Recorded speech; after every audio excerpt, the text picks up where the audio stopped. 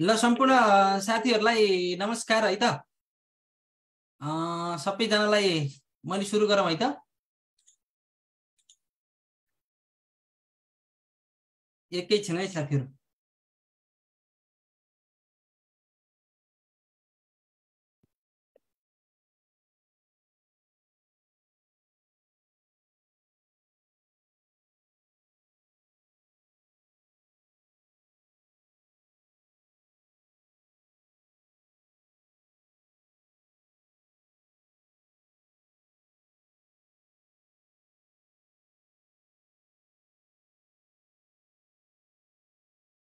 ल। ल तपाईँहरूलाई मैले आज चाहिँ यो योजनाबद्ध विकासको बारेमा थोरै जानकारी दिन्छु। ल अब त्यसपछि हामीले यो कसरी पढ्ने सर ल यसो चाहिँ हेर्नु ल म यसको ब्याकग्राउन्ड भन्छु पहिला। योजनाबद्ध विकास भन्ने छ नि विकास क्रम भन्ने छ। यो डेभलपमेन्ट प्लानको कुरा हो यो भनेको है। ल अब त्यसपछि योजनाबद्ध विकास भन्ने बित्तिकै हामीले सर र मैले पहिला यसको ब्याकग्राउन्ड भन्छु अनि त्यसपछि तपाईँहरूले अरू कुरा चाहिँ हेर्नु होला है। अब त्यसपछि यहाँनिर हामीले के भन्यौँ भन्दाखेरि योजना विकास भनेको त के हो भन्दाखेरि त्यही पनि योजनाबद्ध विकास योजना भनेको खास प्लान यानि कि योजना भनेको के त भन्दाखेरि भविष्यमा हामीले चाहिँ विगतको के थियो अवस्था त्यसको समीक्षा गर्ने। वर्तमानको अवस्था के छ र भविष्यमा कस्तो खालको टार्गेटमा कहाँ पुग्ने हो हामी भनेर गरेको प्रि प्लान अहिले गरेको चाहिँ यो खाका अथवा नतिजा खाकालाई हामी चाहिँ के भन्छौँ? विकास योजना भन्छौँ। ल अब यो म धेरै सैद्धान्तिक पाटोतिर म जान्न। अब यसमा चाहिँ हामीले योजनाबद्ध विकासको सुरुवात भनेको चाहिँ विश्वको उदाहरण हेर्ने हो भने उन्नाइस सय अठारमा चाहिँ रुसमा पहिलो पटक साम्यवादी सरकार गठन भएको थियो। त्यो साम्यवादी सरकार गठन भिआई लेनिनको नेतृत्वमा गठन भइसकेपछि विश्वको पहिलो कम्युनिस्ट सरकारको रूपमा लेनिनको नेतृत्वमा गठन भएको थियो। करेन्सीलाई प्रधानमन्त्रीलाई मारेपछि होइन? त्यसपछि उन्नाइस सय अठाइसमा रुसको पोप तिलेकाबाट रुसको पोप तिलेका यानि कि पाप तिलेका पनि भनिन्छ होइन? पोप तिलेकाबाट चाहिँ के भयो त भन्दाखेरि योजनाबद्ध विकासको सुरुवात भयो र विश्वमा पहिलो पटक चाहिँ के भयो त भन्दाखेरि रसियाले पहिलो पटक चाहिँ योजनाबद्ध विकासको सुरुवात चाहिँ उन्नाइस सय अठाइसमा रसियाले गर्यो। अब त्यसपछि रसियाले योजनाबद्ध विकास सुरुवात गर्ने बित्तिकै उन्नाइस सन् उन्नाइस सय तिसको इकोनोमिक क्राइसिस आयो।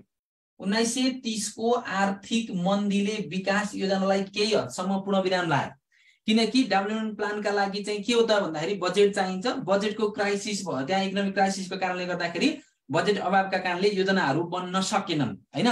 बन्न नसकेपछि उन्नाइस सय अठारमा चाहिँ कम्युनिस्ट सरकार समाज साम्यवादी सरकार भनेको के? विश्वको पहिलो कम्युनिस्ट सरकार यानि कि साम्यवादी सरकार गठन भएको भनेको रसियाको पहिलो इतिहास। त्यही भएर मैले त्यसको ब्याकग्राउन्ड लेखेको।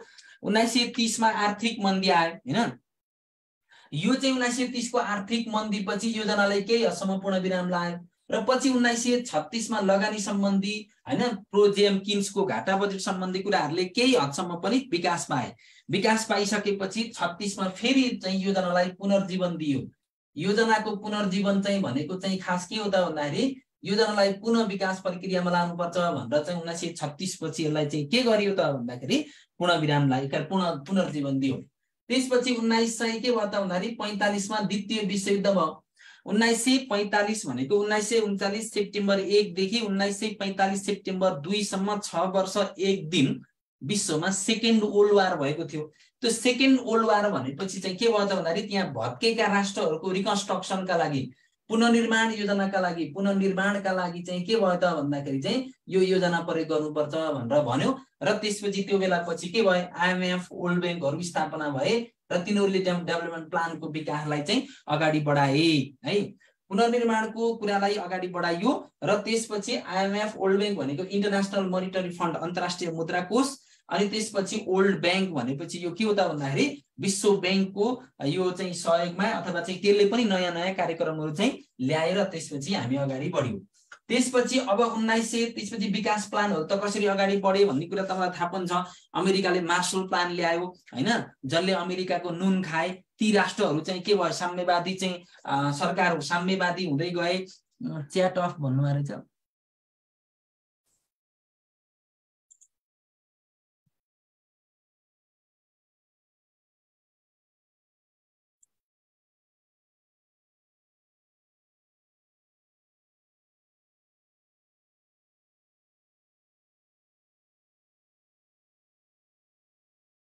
ल। अब त्यसपछि उन्नाइस सय सात उन्नाइस सय पैँतालिसमा त्यो मार्सल प्लानहरू विकास भयो अमेरिकाले रसियाले के गरे त भन्दाखेरि चाहिँ त्यो डेभलपमेन्ट प्लानहरू अगाडि बढाए। र उन्नाइस सय साठीमा के भयो त भन्दाखेरि विकास प्रशासन भन्ने कुराहरू सुरुवात भयो। विकास प्रशासनको अवधारणा विकासको पनि प्रशासन गर्नुपर्छ भनेर के गर्यो त भन्दाखेरि डेभलपमेन्ट प्लानहरू यहाँबाट चाहिँ अगाडि बढे। र त्यसपछि उन्नाइस सय असीको दशकमा एनपिएम भन्ने कन्सेप्ट आयो। एनपिएम भनेको न्यू पब्लिक म्यानेजमेन्ट। यसले के बनायो भने कोर फङ्सन र नन कोर फङ्सन छुट्याउनु पर्यो होइन? सरकारले गर्ने कोर फङ्सनहरू सरकारले गर्नु पर्यो सरकारले नगरे नन कोर फङ्सनहरू चाहिँ कसले गर्यो? प्राइभेट सेक्टरहरूले अन्य क्षेत्रहरूले गर्नु पर्यो भन्ने खालको कन्सेप्ट विकास भयो यो न्यू पब्लिक म्यानेजमेन्ट है? न्यू पब्लिक म्यानेजमेन्ट नयाँ सार्वजनिक व्यवस्थापनले पनि योजनालाई केसम्म निजी क्षेत्रतर्फ केन्द्रित गर्नुपर्छ भनेर अगाडि बढायो त्यसपछि नाइन्टिन एट्टी नाइनमा के भयो त भन्दाखेरि अफ्रिकाको सब साहारियन मुलुकमा सब साहारियन मुलुकमा भनेको के हो त भन्दाखेरि अफ्रिकाको सब साहारियन मुलुकमा चाहिँ भएको विकास गतिविधिलाई वर्ल्ड ब्याङ्कले रिसर्च गर्यो। अफ्रिकाको सब साहारियन मुलुकमा भएको विकास गतिविधिलाई चाहिँ वर्ल्ड ब्याङ्कले विश्व ब्याङ्कले के गर्यो त भन्दाखेरि त्यसको चाहिँ ओभरसाइट गर्यो र ओभरसाइट गर्दाखेरि त्यहाँ करप्सनको कारणले चाहिँ करप्सनको कारणले गर्दा के भयो त भन्दाखेरि विकास प्रक्रिया अगाडि बढेन। करप्सन भनेको चाहिँ सुशासन कायम भएन गुड गभर्नेन्स कायम भएन होइन? गुड गभर्नेन्स कायम हुनका लागि चाहिँ ट्र्याप भन्ने तत्त्व हुन्छ टिआरएपी ट्र्याप। त्यो कसले रोक्यो भन्दाखेरि करप्सनले रोकिदियो भनेर भनौँ क्या? त्यो भनेको के हो त भन्दाखेरि चाहिँ एनपिएम भनेको न्यू पब्लिक म्यानेजमेन्ट भनेको है। नयाँ सार्वजनिक व्यवस्थापन न्यू पब्लिक म्यानेजमेन्ट। मैले यो हजुरलाई ब्याकग्राउन्ड मात्रै भनेको यो सबै कुरा चाहिँदैन।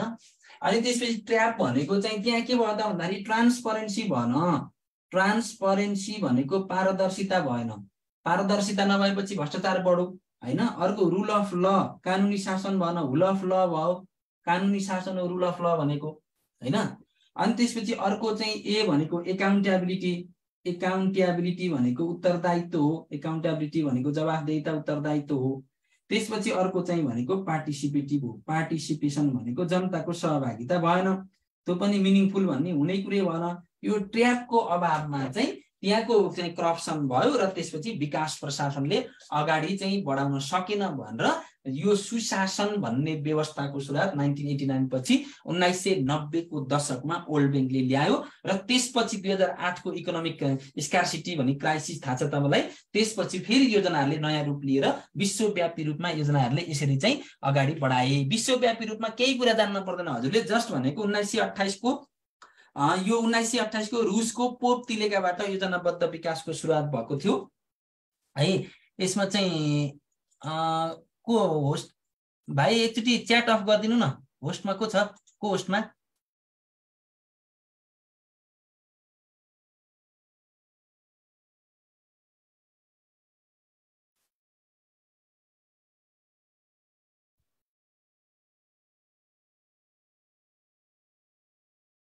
ल। अब त्यसपछि हामी अगाडि बढाउँ त। स्क्रिनसट स्क्रिनसट लिनु खासै केही त्यस्तो ठुलो कुरा छैन। ल मैले चाहिँ अगाडि बढेँ है त। सरको बुक कति एडिसन भनेको लास्ट एडिसन हो यो असौत पछि दसैँ पछि निक्लेको सबै किताबहरू है। ल अब त्यसपछि अगाडि बढाउँ त।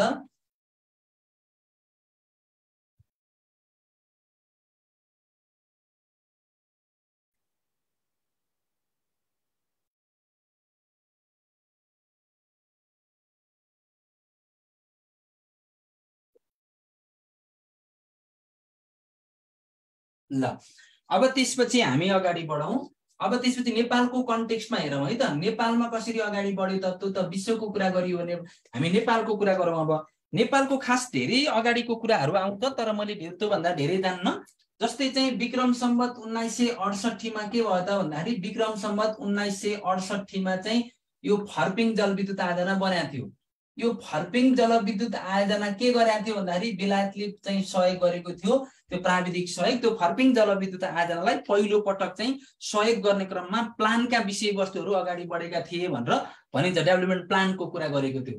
अनि त्यसपछि उन्नाइस सय छिहत्तर विक्रम सम्मत उन्नाइस सय छिहत्तरमा के भयो त भन्दाखेरि भोटा हिटी म्युनिसिपालिटी म्युनि म्युनिसिपालिटी। सिपालिटी भनेर त्यही नगरपालिकालाई चाहिँ नेपालीमा लेखिन्थ्यो। भोटाइटी म्युनिसिपा सिपालिटी भएर यसले चाहिँ के गर्यो त भन्दाखेरि प्लान सुरु गर्यो आफ्नो। प्लान सुरु गर्यो होइन? प्लान सुरु गरेको भनेको खास के हो त भन्दाखेरि डेभलपमेन्ट प्लान उसले चाहिँ अगाडि बढाएको जुन खालको कन् जस्तै अब हामीले अगाडिका कुराहरू राणा शासनका होइन? जस्तै भीम शमशेरको पालाको मोहन शमशेरको चौध वर्ष योजना होइन?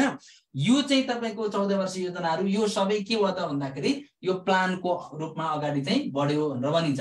अनि त्यसपछि दुई हजार आठ साल माघ एक्काइस गते के आयो त भन्दाखेरि दुई हजार आठ साल माघ एक्काइस गते बजेट आयो होइन? बजेट भनेको तत्कालीन अर्थमन्त्री सुवर्ण शमशेरले पाँच पोइन्ट पच्चिस करोड सन् सत्र सय तेत्तिसमा बेलायतका तत्कालीन प्रधानमन्त्री मानिने रबर्ट बाल्पोलले विकास गरेको छालाको थैलोबाट बजेटरी व्यवस्थाको कागजात झिकेर बजेट सम्बन्धी कागजात प्रस्तुत गरेको हुनाले बजेटरी व्यवस्थाको सूत्रपात भयो र त्यसपछि चाहिँ दुई हजार पाँच पोइन्ट पच्चिस करोडको बजेट आयो। यो पनि योजनाका केही हदसम्म अनौपचारिक रूपमा स्वीकार गरियो। दुई हजार आठ साल माघ एक्काइस गते तत्कालीन अर्थमन्त्री सुवर्ण शमशेरले पाँच पोइन्ट पच्चिस करोडको बजेट प्रस्तुत गरेपछि बजेटरी व्यवस्थाको सूत्रपात भयो। अनि त्यो बजेट खर्च गर्नका लागि योजनाहरू ल्याइयो। तर डेभलपमेन्ट प्लान चाहिँ योजनाबद्ध ल्याइएन कि योजना मात्रै बनाइयो क्या? योजनाबद्ध भनेको त त्यसले चरण चरण फेज फेजमा ल्याउने हो नि त। त्यो भनेको अनि बल्ल दुई हजार तेह्र सालको असौज एक गते दुई हजार तेह्र सालको असौज एक गते तत्कालीन प्रधानमन्त्री टङ्क प्रसाद आचार्य। तत्कालीन प्रधानमन्त्री टङ्क प्रसाद आचार्यको पालामा पहिलो योजनाबद्ध विकासको सुरुवात हो। योजनाबद्ध विकास पहिलो योजनाबद्ध विकास भनेको पहिलो पटक दुई हजार तेह्र साल असौज एक गते चाहिँ योजनाबद्ध विकासको सुरुवात। डेभलपमेन्ट प्लानको पहिलो सुरुवात चाहिँ कहिले भयो त भन्दाखेरि दुई हजार तेह्र असौज एक गते।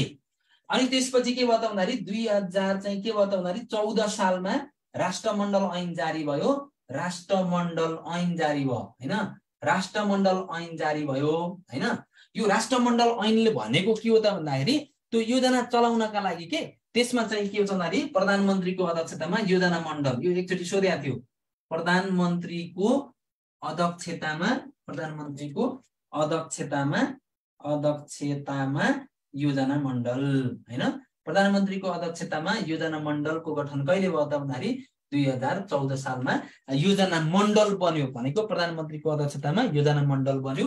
अनि त्यसपछि दुई हजार सत्रमा राजाको अध्यक्षतामा हेर्नु है। राजाको अध्यक्षतामा राजाको अध्यक्षतामा के बन्यो भन्दाखेरि राष्ट्रिय योजना परिषद बन्यो होइन? राष्ट्रिय योजना राष्ट्रिय योजना परिषद बनेको थियो होइन। राजाको अध्यक्षतामा राष्ट्रिय योजना परिषद बनेको थियो। दुई हजार सत्र सालमा राजाको चाहिँ अध्यक्षतामा राष्ट्रिय योजना परिषद चाहिँ बनेको थियो सत्र सालमा। अनि पछि पछि यसलाई के गरियो त भन्दाखेरि दुई हजार पच्चिस सालमा गएर चाहिँ राष्ट्रिय योजना आयोगको सचिवालय राष्ट्रिय योजना आयोगको योजना आयोगको सचिव योजना सचिवालय भनेर राखियो जसमा वैदेशिक तर्फ अर्थ मन्त्रालयलाई जिम्मा दियो। यो पनि क्वेसन सोधेको थियो है। अब त्यसपछि मैले के भने हजुरलाई नेपालको कन्टेक्स्टमा भन्दा अगाडि डेभलपमेन्ट प्लानहरू नभएको हो उन्नाइस सय अडसठीमा फर्पिङ जलविद्युत आयोजनालाई पहिलो पटक बेलायतले सपोर्ट गरेको हुनाले त्यहाँबाट डेभलपमेन्ट प्लानहरू चाहिँ बन्न सुरु गरे अलिअलि चाहिँ भन्ने कुरा आयो अनौपचारिक रूपमा। छिहत्तरमा भोटा हिटी म्युनिसिपालिटीको स्थापना भइसकेपछि त्यहाँभित्रका बजेटहरू परिचालन गर्नका लागि योजनाले मूर्त रूप लिए। बजेटमा पाँच पोइन्ट पच्चिस करोडको बजेट ल्याए अर्थमन्त्री सुवर्ण शमशेरले त्यसले पनि योजना गर्यो। तर यी चाहिँ अलिक अनौपचारिक खालका भयो क्या योभन्दा अगाडिका अनौपचारिक। यो भनेको त फर्मल आयो नि त। फर्मल भनेको चाहिँ ठ्याक्कै तोकेरै यति पाँच वर्ष योजना पहिलो पटक आएको थियो नि त। अहिले हामी आउँछौँ। तेह्र असौजी गते टङ्क प्रसाद आचार्य प्रधानमन्त्री जिउँदा सहित प्रधानमन्त्री भन्छौँ हामी। योजनाबद्ध विकासको सुरुवात भयो। अनि चौधमा यो योजनाबद्ध विकासलाई प्रधानमन्त्रीले हेर्ने भन्ने कुरा भयो। राष्ट्रमण्डल ऐन जारी भएर अनि राष्ट्रिय योजना मण्डल गठन गर्ने। त्यो राष्ट्रिय योजना मण्डलमा प्रधानमन्त्रीले सुप्रिमेसी अथवा अध्यक्षता प्रेसिडेन्सी हुने भन्ने कुरा भयो। सत्र सालमा त्यसलाई फेरि राजाको अध्यक्षतामा यहाँ प्रधानमन्त्रीलाई हटाएर सत्र सालमा त पञ्चायती व्यवस्था हो। फेरि भए त्यति बेला तपाईँलाई मैले संवैधानिक विकास क्रममा चाहिँ भनेको थिएँ नि जस्तो सार्वजनिक निजी र पञ्चायती अर्थव्यवस्था थियो सत्र साल उन्नाइस सालको संविधानमा होइन? हो त्यस्तै राजाको अध्यक्षतामा राष्ट्रिय योजना परिषद गठन भयो। पछि राष्ट्रिय योजना सचिवालय पच्चिस सालमा भयो। अहिलेको सचिवालय पच्चिस सालपछि आएको र त्यसपछि दुई हजार उन्तिसमा राष्ट्रिय विकास परिषद होइन? उन्तिसमा राष्ट्रिय विकास परिषदको गठन भयो। विकास परिषद। राष्ट्रिय विकास परिषदको गठन भयो त्यो भनेको राजा वीरेन्द्रको अध्यक्षतामा होइन? राजाको अध्यक्षतामा राजा वीरेन्द्रले पहिलो पटक यो क्वेसन दुई तिन पटक सोधेको छ है? राजा वीरेन्द्रले राष्ट्रिय विकास परिषदको गठन दुई हजार उन्तिस सालमा है? उन्तिस दुई हजार उन्तिस सालमा चाहिँ राजा वीरेन्द्रको अध्यक्षतामा राष्ट्रिय विकास परिषदको के भयो त भन्दाखेरि स्थापना भयो गठन भयो जसरी सम्झे पनि हुन्छ हजुरहरूले। यहाँनिर धेरै कुरा चाहिँ छैन। अब त्यसपछि हामी अगाडि बढौँ। भनेको हामीले उन्तिसको भनेर चाहिँ त्यसलाई हामीले उन्तिस सालकोलाई चाहिँ रिडिफाइन गरियो के? अब विभिन्न चाहिँ मैले कालखण्डमा धेरै कुरा लेख्दिनँ। दुई हजार चौहत्तर सालको फागुन अठाइसको कुरा लेख्छु। दुई हजार चौहत्तर साल फागुन अठाइस गते। अठाइस गते के भयो त भन्दाखेरि राष्ट्रिय योजनालाई पुनर्संरचना गरियो के? भनेपछि यसमा राष्ट्रिय योजना आयोग राष्ट्रिय योजना आयोगमा योजना आयोगमा आयोगमा के भयो त भन्दाखेरि आयोगमा अध्यक्ष अध्यक्षको रहने एकजना बराबरको प्रधानमन्त्री प्रधानमन्त्री जो हुन्छ त्यो राष्ट्रिय योजना आयोगको के हुन्छ भन्दाखेरि अध्यक्ष हुन्छ भन्ने कुरा आयो होइन? अर्को दोस्रोमा उपाध्यक्ष उपाध्यक्ष उपाध्यक्ष भनेको एकजना यो भनेको अध्यक्ष भनेको प्रधानमन्त्री उपाध्यक्ष भनेको एकजना को हुन्छ? नेपाल सरकारबाट नियुक्त हुन्छ होइन? नेपाल सरकारबाट नियुक्त हुन्छ। सरकारबाट। नेपाल सरकारबाट नियुक्त हुने एकजना के हुन्छ? उपाध्यक्ष हुन्छ। राष्ट्रिय योजना आयोगको सङ्गठन संरचनाको कुरा गर्दैछु मैले। कसरी कसरी फर्मुलेसन भनेर भनेको छ। अनि त्यसपछि सदस्य। सदस्य भनेको चाहिँ कति? चारजना। एक महिला अनिवार्य होइन? एक महिला सहित। एक महिला अनिवार्य भनेपछि एकजना महिला सहित के भन्दाखेरि चारजना सदस्य त्यो पनि कसले भन्दाखेरि नेपाल सरकारबाट नियुक्ति भएर आएका हुन्छन्। अब अर्को पदेन सदस्य हुन्छ फेरि। पदेन सदस्य भनेको मुख्य सचिव। है यो क्वेसन सोधेको थिएँ एकचोटि। मुख्य सचिव र अर्थ सचिव। र अर्थ सचिव के हुन्छ भन्दाखेरि अस भनेर अमु मुस भनेर सम्झाउनु होला। मुस भनेको मुख्य सचिव र अर्थ सचिव होइन? मुस। मुख्य सचिव र अर्थ सचिव मुह भनेर सम्झे पनि हुन्छ। सदस्य पदेन सदस्यको रूपमा त्यहाँ अनिवार्य हुन परेमा मुख्य सचिव र अर्थ सचिव चाहिँ पदेन सदस्यको रूपमा रहने भनी सत्तालिस सालबाट नै भएको थियो। अहिले पनि कन्टिन्यू छ। सत्तालिस सालमा पहिलोपटक रिकस रिस्ट्रक्चर हुँदाखेरि नै भनेको थियो। अनि अर्को सदस्य सचिव भन्ने हुन्छ। सदस्य सचिव त्यो को हो त भन्दाखेरि योजना आयोगको उपाध्यक्ष योजना योजना आयोगको सचिव। योजना आयोग भनेको राष्ट्रिय योजना आयोग है। योजना आयोगको सचिव होइन। योजना आयोगको सचिव को हुन्छ भन्दाखेरि सदस्य सचिव हुन्छ। यस्तो चाहिँ राष्ट्रिय योजना आयोगको सचिवालय बन्छ होइन? पोलिटिकल नियुक्तिको कुरा गरेँ मैले अनि तलपछि हाम्रो प्रशासनिक कुराहरू चाहिँ राष्ट्रिय योजना आयोगको भने मैले है। अब त्यसपछि अहिलेको चाहिँ योजना आयोगमा विशेष गरी भनेको छवटा महाशाखाहरू प्रश्न कसरी सोध्छ भन्नुभयो रहेछ नेपाल सरकारले चाहिँ जस्तै उपाध्यक्ष कसरी नियुक्ति गर्छ अथवा चाहिँ राष्ट्रिय योजना आयोगको अध्यक्ष को हुन्छ भन्दा तपाईँले बिगार्नुहुन्छ प्रधानमन्त्री हान्नुहुन्न त्यही भएर यहाँनिर ख्याल गर्नु होला क्वेसन जसरी पनि आउँछ कति सदस्य भनौँ भने कति भयो? एक दुई छ अनि सात आठ नौ सदस्य भयो होइन?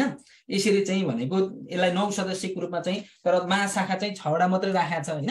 त्यस कारणले गर्दाखेरि यसको चाहिँ के हुन्छ भन्दाखेरि दुई चार दुई छ दुई आठ ठिक नभयो ठिक छ। अब त्यसपछि यो वर्षको दुई पटक बैठक बस्छ यसको वर्षको दुई पटक बैठक बस्छ होइन? बैठक बस्छ।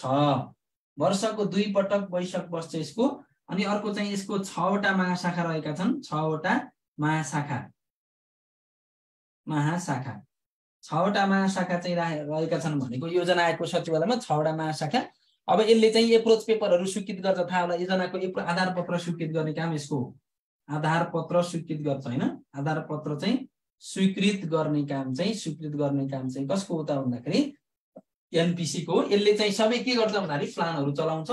तर अब योजना आयोगले चाहिँ हाम्रो के भयो त भन्दाखेरि अहिले चाहिँ सङ्घीय संरचनाका आधारमा प्रदेशमा पनि योजना आयोगहरू छन् थाहा छ तपाईँलाई होइन? अब यहाँ मैले केही भने होइन राष्ट्रिय आयोगको गठन कसरी हुन्छ अध्यक्ष स्वत प्रधानमन्त्री हुने व्यवस्था हुन्छ उपाध्यक्ष नेपाल सरकारले नियुक्ति गर्ने हुन्छ अनि चारजना सदस्य पनि नेपाल सरकारले एकजना महिला अनिवार्य हुनुपर्छ अनि पदेन उनीहरू यिनीहरू पदेन भनेको त्यही पदले पाउने भनेको क्या व्यक्ति होइन पदले पाउने मुख्य सचिव र अर्थ सचिव भनेको छ यहाँ सदस्य सचिव योजना आयोगको सचिव भनेको छ। वर्षको दुई पटक बैठक बस्छ यो परिषद यस्ता सबै वर्षको दुई पटक हो है। अब त्यसपछि वर्षको दुई पटक बस्छ अनि त्यसपछि यसमा छवटा महाशाखा छन्। महाशाखा छवटा भन्नुभएको छ आर्थिक व्यवस्थापन सम्बन्धी महाशाखा हुन्छ एउटा आर्थिक व्यवस्थापन भनेको अर्थ सम्बन्धी विषयवस्तुहरू हेर्छ त्यसले। अर्को पूर्वाधार हेर्छ होइन? अर्थ सम्बन्धी हेर्छ अर्को चाहिँ पूर्वाधार सम्बन्धी हेर्छ अनि त्यसपछि अर्को तिन नम्बरमा त्यसले चाहिँ सामाजिक विकास सम्बन्धी हेर्छ अर्थ हेर्छ पूर्वाधार हेर्छ अनि सामाजिक हेर्छ अर्को अनुसन्धान अन्वेषण हुन्छ चार नम्बरमा अनि पाँच नम्बरमा चाहिँ मूल्याङ्कन हेर्छ छ नम्बरमा प्रशासन युवा खेलकुद यसरी चाहिँ हेरिरहेको हुन्छ ठुल्ठुला महाशाखाहरू चाहिँ छन् त्यहाँ है? ल अब त्यसपछि म अगाडि बढेँ।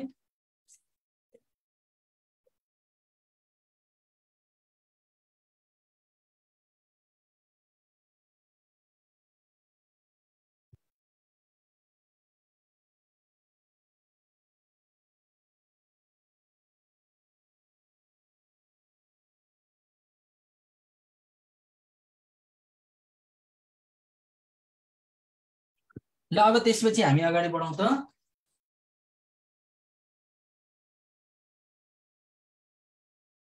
ल अब त्यसपछि योजनाहरू है? अब योजनाहरू कसरी आए योजनाहरू भन्ने बित्तिकै तपाईँले त्यहाँ ख्याल के ख्याल गर्न पर्यो भन्दाखेरि पञ्चवर्षीय पञ्चवर्षीय योजना चाहिँ दस दसवटा भए पन्ध्रौँ सहित। पन्ध्रौँ योजना सहित चाहिँ पञ्चवर्षीय योजना कतिवटा भए दसवटा भए अनि त्रिवर्षीय भन्ने हुन्छ। त्रिवर्षीय योजना कतिवटा भए? नौवटा यसरी पाँचवटा भयो होइन? पाँचवटा भयो। यो चाहिँ भनेको त्रिवर्षीय योजना भनेको तिन तिन तिन तिन वर्षको होइन? तिन तिन वर्षको। तिन तिन वर्षको अन्तरालमा। पञ्चवर्षीय भनेको पाँच। अनि त्यसपछि प्लान होलिडे भयो। प्लान होलिडे भन्नलाई नेपालीमा योजनाविहीन वर्ष भनिन्छ। दुई पटक तिन वर्ष। दुई पटक तिन वर्ष भनेको दुई हजार अठारमा चाहिँ प्लान होलिडे भयो। दुई हजार सत्तालिसमा एकपटक दुई हजार अडचालिसमा एकपटक गरेर पटक दुई वर्ष तिन होइन? त्यसपछि पटक दुई पटक तिन वर्ष के भयो त भन्दाखेरि योजनाहरू आएनन् होइन? योजनाहरू चाहिँ यो दुई पटक तिन वर्ष भनेको प्लान होलिडे कति पटक भयो भनेर प्रश्न सोध्यो भने चाहिँ तपाईँले दुई पटक भन्नु पर्यो। प्लान होलिडे कति वर्ष भन्न क्वेसन सोध्यो भने सामान्यतया कति हान्नु पर्यो भने तिन हान्नु पर्यो भनेर भने मैले। होइन? अब अर्को भनेको पहिलो योजना। पहिलो योजना। हेर है त पहिलो योजना भनेर भने मैले। पहिलो योजना भनेको दुई हजार तेह्रदेखि दुई हजार अठारसम्म होइन? पहिलो पञ्चवर्षीय योजना दुई हजार तेह्रदेखि दुई हजार अठारसम्मको चाहिँ यहाँनिर कुरा गरौँ अब होइन? ल अब त्यसपछि पहिलो भनेको खर्च गर्ने लक्ष्य कति थियो त? खर्च गर्ने लक्ष्य। लक्ष्य कति थियो भन्दाखेरि तेत्तिस करोड जम्मा तेत्तिस करोड पैसा खर्च गर्ने लक्ष्य थियो। अनि खर्च भएको कति भयो त? खर्च भएको यहाँ कति भयो? भन्दाखेरि एक्काइस पोइन्ट चौवालिस करोड खर्च भयो। त्यो एक्काइस पोइन्ट चौवालिस करोड भनेको करिब पैँसठी प्रतिशत चाहिँ खर्च हो होइन? त्यो पैसा कहाँ आयो त? भन्दाखेरि एट्टी नाइन प्रतिशत वैदेशिक सहायताबाट आयो। वैदेशिक सहायता। एट्टी नाइन प्रतिशत वैदेशिक सहायता आयो। त्यो पनि भारत र अमेरिकाको होइन? भारत प्लस अमेरिकाको एट्टी नाइन प्रतिशत वैदेशिक सहायतामा पहिलो योजना बन्यो होइन? एट्टी नाइन पर्सेन्ट वैदेशिक सहायताले पहिलो योजना भारत र उसको रूपमा बन्यो होइन? अब यसलाई चाहिँ हामीले के भन्छौँ भन्दाखेरि आधार सुरु सुरु भर्खरै स्टार्टिङ भएको हुनाले यसले त खासै त्यस्ता धेरै टार्गेटहरू त पहिलो योजना त राखेन होइन? यसले चाहिँ के गर्छ हाम्रो त्यति बेला चाहिँ मुख्य क्षेत्र केमा भनेको थियो यसले भन्दाखेरि मुख्य क्षेत्र भनेको हाम्रो यातायात र सञ्चारै थिएन कि? त्यही भएर यातायात र हुन त शिक्षा पनि सात सालमा दुई प्रतिशत मात्रै साक्षरता थियो भनेको छ।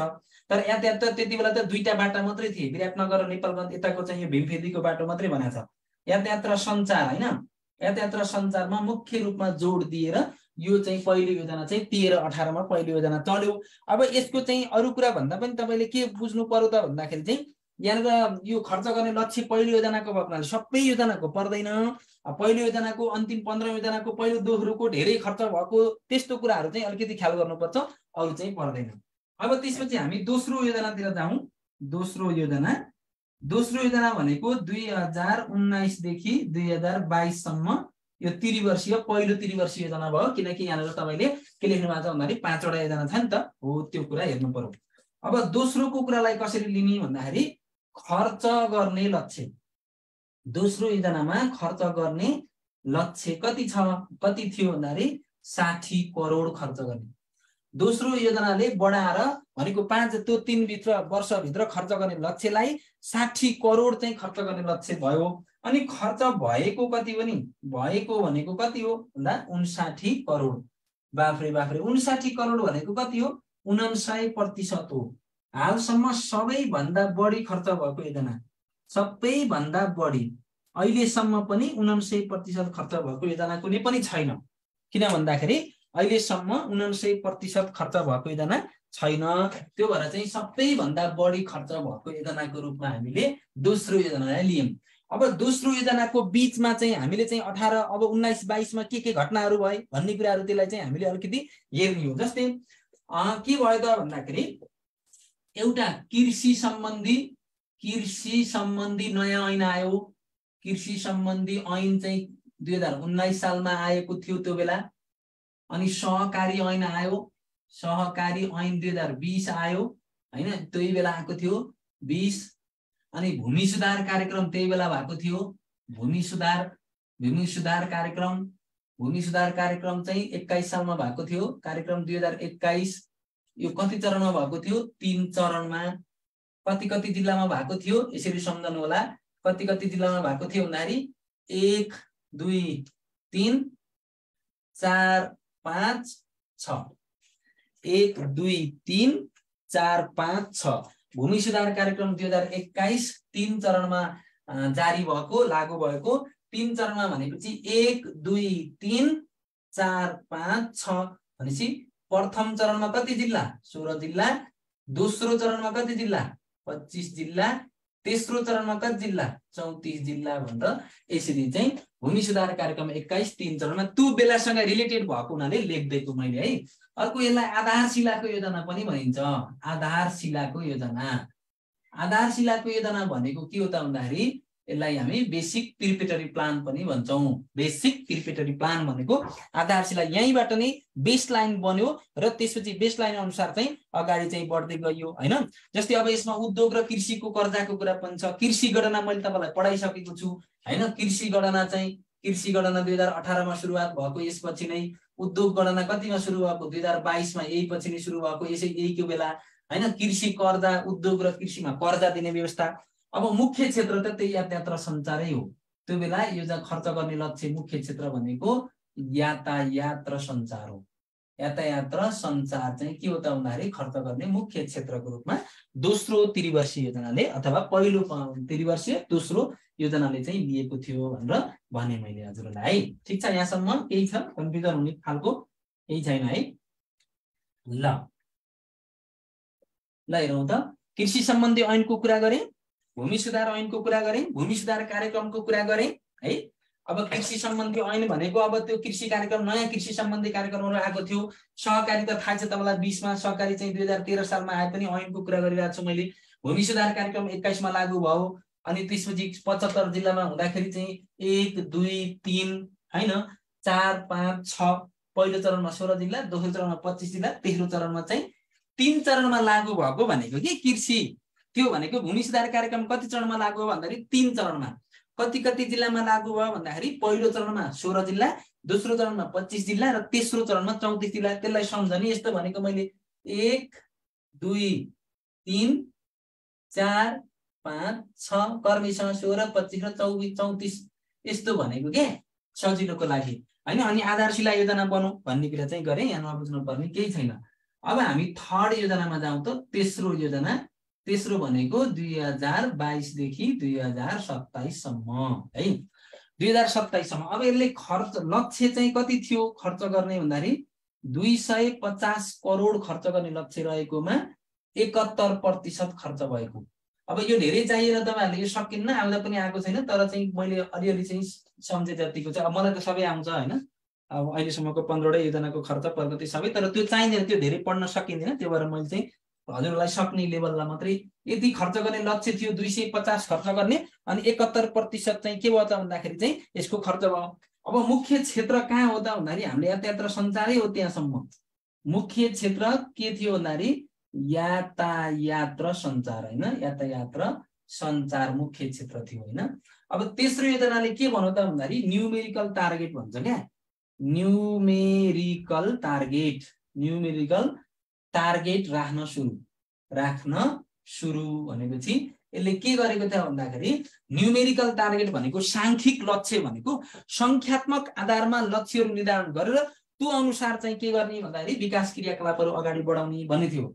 अर्को यसले के भनेको थियो एउटा इम्पोर्टेन्ट कुरा भनेको पन्ध्र वर्षभित्र पन्ध्र वर्षभित्र राष्ट्रिय आयलाई पन्ध्र वर्षभित्र राष्ट्रिय आयलाई डबल बनाउने होइन? डबल बनाउने। डबल भनेको दोहो डबल बनाउने भनेको चाहिँ के गर्ने त भन्दाखेरि दुब्बर पार्ने। राष्ट्रिय चाहिँ के गर्छ भन्दाखेरि राष्ट्रिय जुन आय हुन्छ त्यसलाई दुब्बर पार्ने लक्ष्य चाहिँ राखिएको थियो भनेर भन्छ होइन?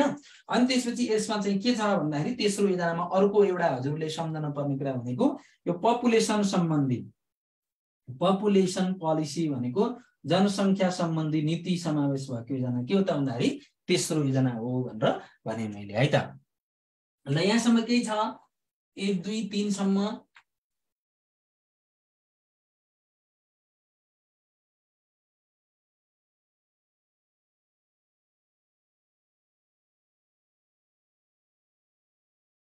ल। सर ओटिसको भिडियो रेकर्डेड कक्षा अपडेट हो? ए अपडेट हो सबै अपडेट हो है? यो मैले यही दसैँ पछि नै सबै अपडेट गरिदिएको छु है। त्यो ओटिसको नि अपडेट भएको यसपालि नयाँ भएको त्यो पहिला हजुरहरूले पहिलाको पढ्नु पर्दैन अहिले। नयाँ हो। ल।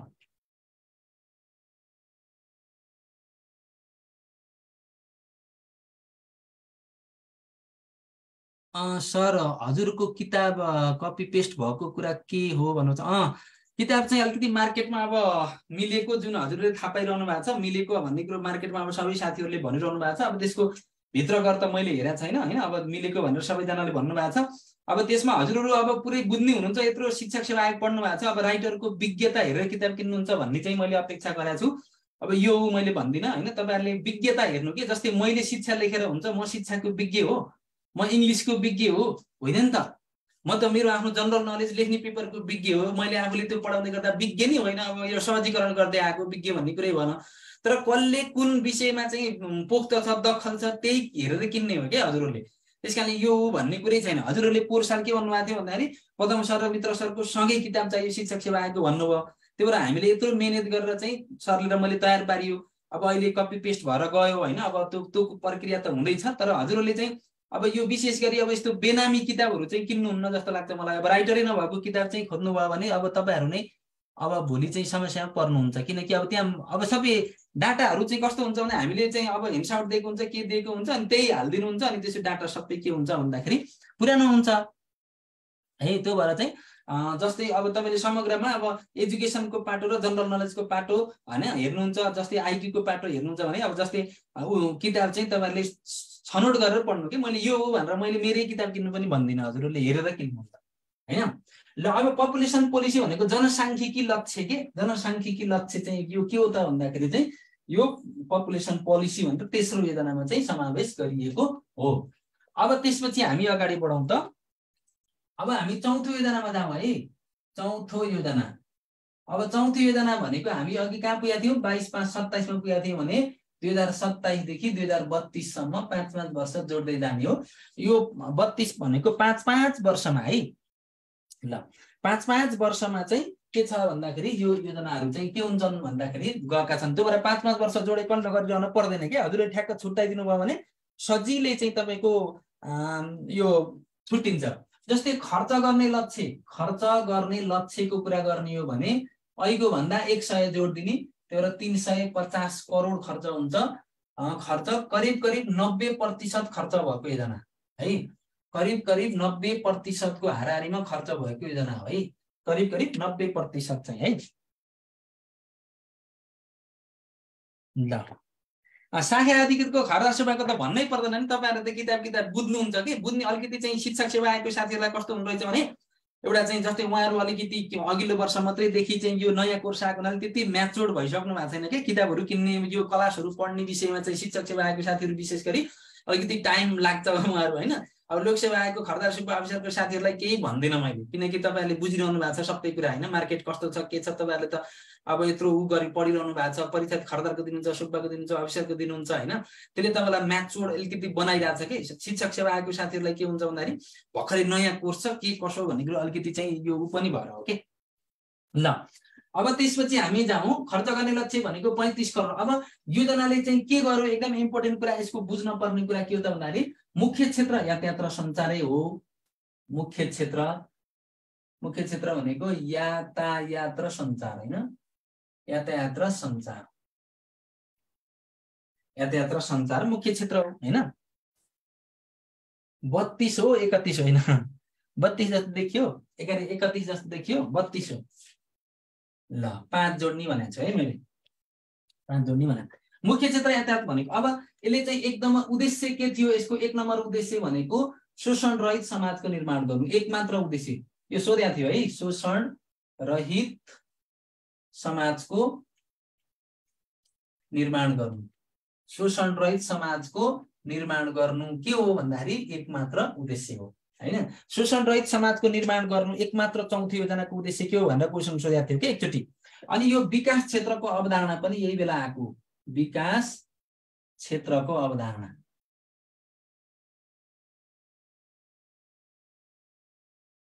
विकास क्षेत्रको अवधारणा। अब विकास क्षेत्रको अवधारणा भनेपछि यो के हो त भन्दाखेरि क्षेत्र विकास क्षेत्र भनेको त्यो हाम्रो चार पढ्दै पाँच विकास क्षेत्र चार विकास क्षेत्र भनेर हामीले पढ्दै आयो नि। हो त्यो कुराहरू चाहिँ गरेको यसले चाहिँ। अनि अर्को कुरा भनेको एउटा चाहिँ भनेको यो यो हाम्रो चाहिँ एक व्यापारको कुरा चाहिँ एउटा व्यापारको व्यापार विविधीकरण। विविधीकरणको विषय पनि चौथो योजनाबाट नै आएको है यति कुराहरू चाहिँ बुझ्नु पर्यो। अब अर्को हामी पाँचौँ योजनामा जाउँ। पाँचौँ योजना।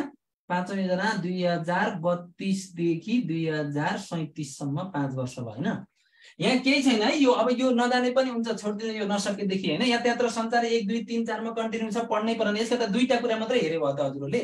शोषण रहित समाजको निर्माण गर्ने र विकास क्षेत्रको अवधारणा चौथो योजनाको यति कुरा पढे पनि हुन्छ है। अफिसरको किताब त जमाना आएको त भदौदेखि नै आइरहेछ त। ल अब त्यसपछि पाँचौँ होइन? पाँचौँ भनेपछि पाँचौँ योजना भनेको दुई हजार बत्तिसदेखि दुई हजार सैतिससम्मको पाँचौँ योजना हो। होइन अब यो पाँचौँ योजनाले के गर्यो भन्ने कुरा चाहिँ हामीले ख्याल गर्नु पर्यो। अब पाँचौँ योजनाले एक नम्बर ख्याल गर्ने कुरा के हो त भन्दाखेरि चाहिँ यो स्वास्थ्य सम्बन्धी नीति समावेश स्वास्थ्य सम्बन्धी नीति। सम्बन्धी नीति समावेश गरेको एउटा अनि अर्को चाहिँ प्रादेशिक अवधारणा। प्रादेशिक भनेको हिमाल पहाड तराई लगायतको प्रादेशिक विकासको अवधारणा। विकासको सन्तुलित अवधारणा भन्छ नि। हो त्यो प्रादेशिक विकासको अवधारणा कति हो? प्रादेशिक पाँच भनेर सम्झाउनु क्या? विचार प्रादेशिक पाँच भनेर सम्झाउनु अनि त्यसपछि अर्को दुई प्रकारका लक्ष्य राखेका थियो यसले दुई प्रकारका।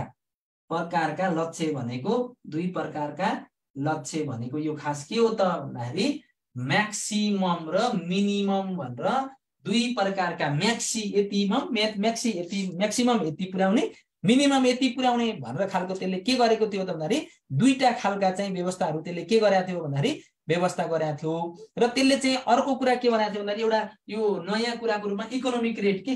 आर्थिक वृद्धिको व्यवस्था गर्ने। आर्थिक वृद्धि। वृद्धि दरको वृद्धि दरको व्यवस्था गरेको थियो है। व्यवस्था गरेको थियो यसले है पाँचौँ योजनाले चाहिँ। स्वास्थ्य सम्बन्धी नीतिको कुरा लेखेँ मैले प्रादेशिक विकासको अवधारणा दुई प्रकारका लक्ष्यहरू निर्धारण गर्ने होइन अर्को कुरा भनेपछि यो के त भन्दाखेरि यो आर्थिक वृद्धि दरको व्यवस्था इकोनोमिक रेटको कुरा चाहिँ यसले गरेको थियो भनेर भने मैले अर्को स्वास्थ्य सम्बन्धी नीति चाहिँ अलिक इम्पोर्टेन्ट छ। त्यो पनि कहिले काहीँ सोधिरहेको हुन्छ त्यसलाई चाहिँ ख्याल गर्नु होला है। अब अर्को चाहिँ यो एउटा सामाजिक असमानताको पनि कुरा थियो यहाँ। सामाजिक असमानता निराकरण गर्ने उद्देश्य थियो। सामाजिक असमानता सोसल डिस्प्यारिटी असमानता अथवा चाहिँ इनिक्वालिटी असमानता सोसल इनिक्वालिटी चाहिँ निराकरण गर्ने निराकरण गर्ने उद्देश्य चाहिँ कति लिएको थियो भनेको पाँचौँले लिएको थियो है।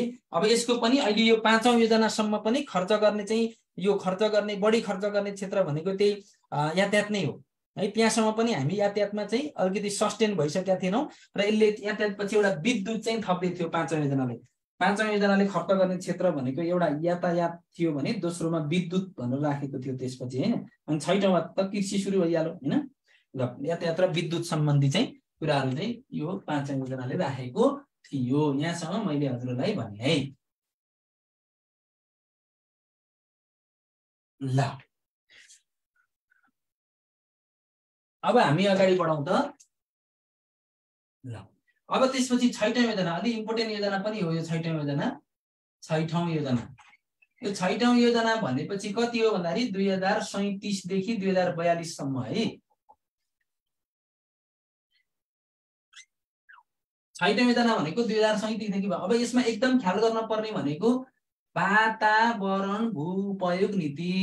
वातावरण भू उपयोग नीति यसले ल्याएको हो। वातावरण भू उपयोग नीति छैटौँ योजना ल्यायो होइन?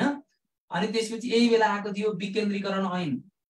विकेन्द्रीकरण ऐन। अब खास त्यो विकेन्द्रीकरण ऐन उन्चालिस सालमा आएको है। त्यही भएर मैले यहाँ विकेन्द्रीकरण ऐन दुई हजार उन्चालिस लेखिदिएँ मैले होइन?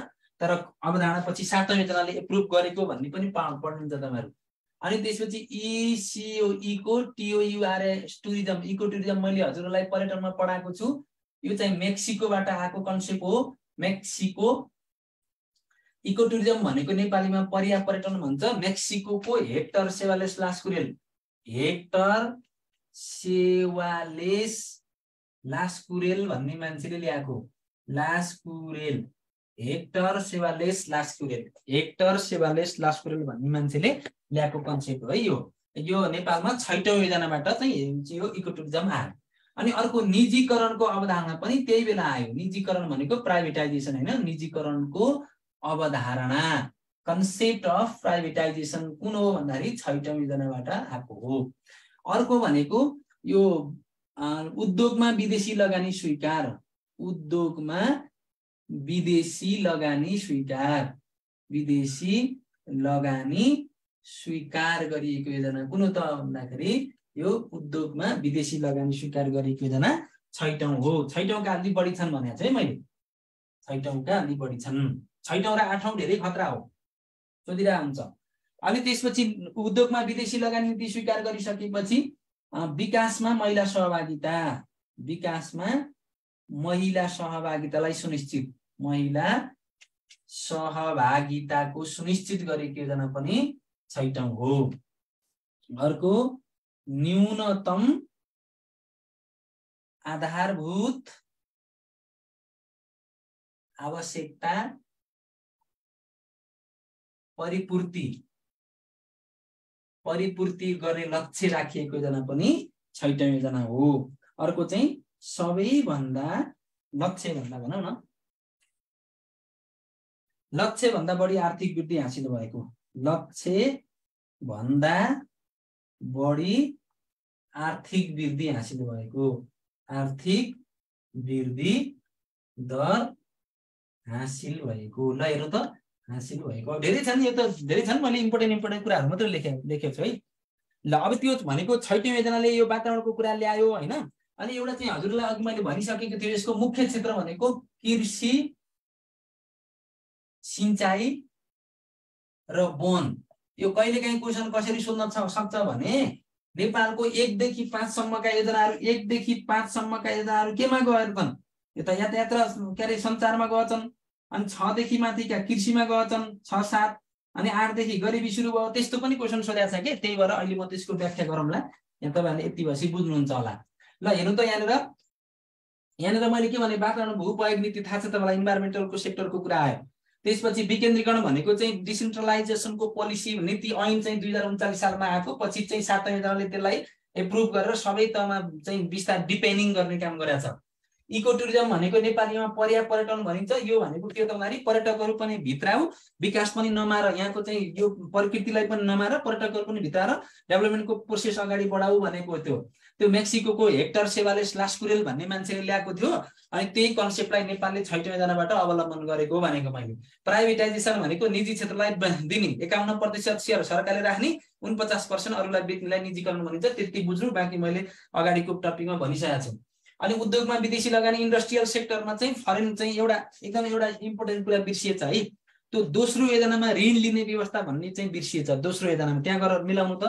त्यो दोस्रो योजनामा ऋण लिने त्यो दोस्रो योजनामा गएर हजुरले चाहिँ ऋण लिने व्यवस्था सार्वजनिक ऋण लिने व्यवस्थाको सुरुवात यो सोधिरहेको थियो क्या यो क्वेसन त्यही भएर यो ऋण लिने भनेको दोस्रो योजनाबाट जानु त दोस्रो योजना। यो भनेको छैटौँ योजनाको एम हो क्या छैटौँ योजनाले के के कुरालाई क्वेसन कसरी आउँछ भने वातावरण भू उपयोग नीतिको अवलम्बन पहिलो पटक गरिएको नेपालको योजनाबद्ध कुन हो? अथवा कुन योजनाबद्ध विकासबाट चाहिँ सुरुवात गरियो कतिौँबाट सुरुवात गरियो भनेर क्वेसन आउँछ क्या? निजीकरणको अवधारणा स्वीकार गर्ने योजना कति हो? निजीकरणलाई लागू गर्ने योजना कति हो? दिगो विकास योजना लागू गर्ने योजना कति हो? सुशासनको रणनीति पत्र प्रस्तुत गरिएको योजना कति हो? गरिबी निवारण गर्ने लक्ष्य राखिएको दुईटा योजना कुन कुन हुन्? त्यसरी क्वेसन आउने हो नि। ल यहाँ त अरू केही छ? विकासमा महिला सहभागिताको कुरा जेन्डर इस्युको कुरा आयो।